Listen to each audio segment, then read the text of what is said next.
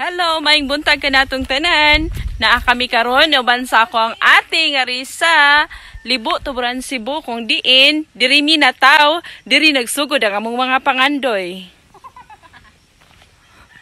Okay, nara siya at tumipadong sa balay sa among nanay goring. Kay excited na kami mo adto dito sad ko nagdako dapita sa ubos sa balay ni Nanay Goring. Nga naa dito amuhang payag ni Lula Suling. So, pila na ko katuig wala nakaari diri. Okay, again, maayong buntag sa tanan. So, akong ipakita ninyo ang umang nga gigama sa ako ang lula suling sa unang panahon nga buhi pa siya.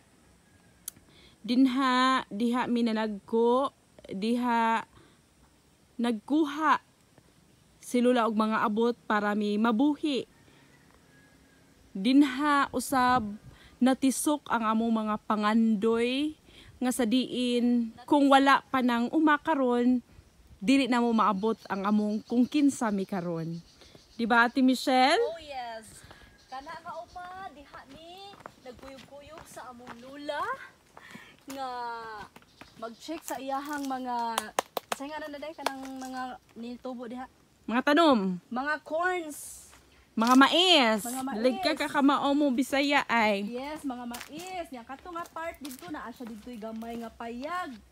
Ah, my goodness. So, ako mahinumduman na nasunog dito to ang- siya nasunog. Wa to nasunog day magpataka lagi ka. Nasunog to kausawan. Ah, Oo, katong gamay kayo. Ah, Yeah. sige. Nya ako mahinumduman dito dapit sa bukid dapit dihang balay nila nanay Serena nya wala na ko kakita na lang ko mo adto. Back here, ari mi diri magduwa og Slide slide slide. slide. Yes, kinsa katong balay o amo tong adtuon wala pa mi kahibaw dugay na jud kay mi wala nakaari. Mga 15 years, over 15 years siguro. Yes. And feel na ko muna na siyang balay ni Nanay Guring hapit na mi maabot guys.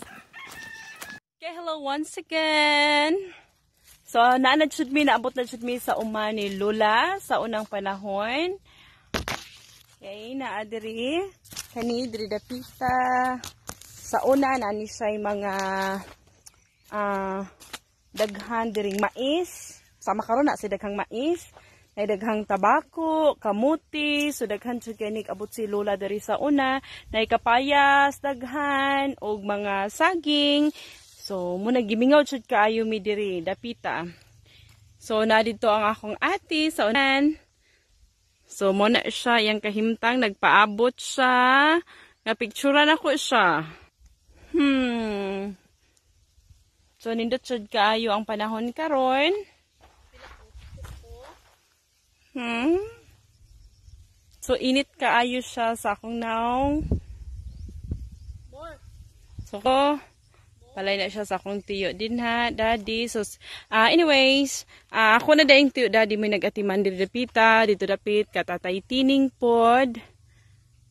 So kana lang sa di dapita na himutang ang balay ni Lola Suling sa una ayang payag. Nga sa diin, diha pud minanag ko pero wala na payag karon. Okay. Bye bye guys.